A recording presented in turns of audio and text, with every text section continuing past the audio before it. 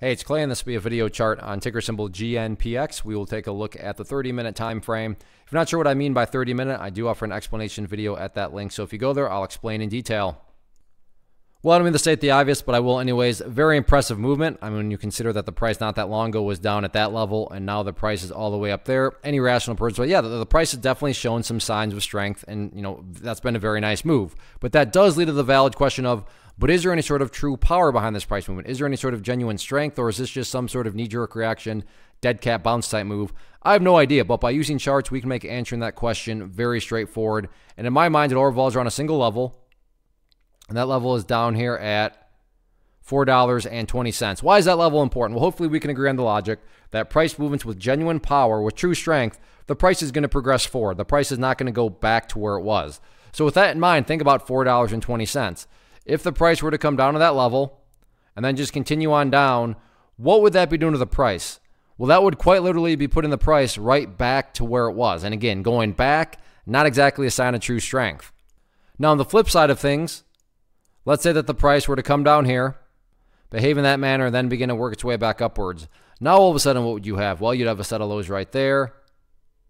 You'd have these lows down there. If you envision each one of those as stair steps, well, now all of a sudden you have stair steps progressing in the upwards direction. And that's what truly strong movements are going to do. They're going to make progress forward. And again, in this situation, $4.21, meaning that key level of progress.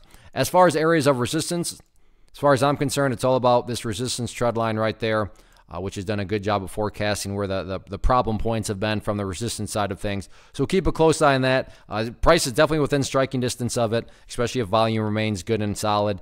So overall, though, very nice movement. And the good news is it's only Monday, so still four days left this week. So let's see if the price can continue to build upon this momentum going forward.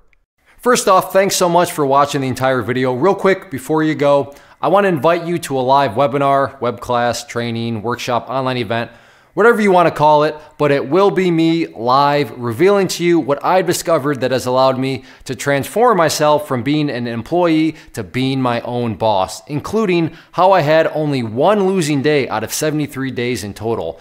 I'm going to cover three keys that have helped me unlock profitable consistency within the markets. The first key is super weird, but in a productive type of way. The second key is super awesome because it quite literally is wired into our DNA as humans, making it very easy to use. But in a cruel way, this becomes a pitfall for many traders. I'll explain it all though, including how to avoid the pitfall that it creates for some. And yeah, the third key, when you hear it, sounds way too good, way too good to be true, but it's not, and I'll show you how it all works. Then at the end, I open it up for a question and answer session that is, again, totally live. Even if you can't make the live session, please still sign up as it will be recorded, and you can go back and watch the replay that I will send you.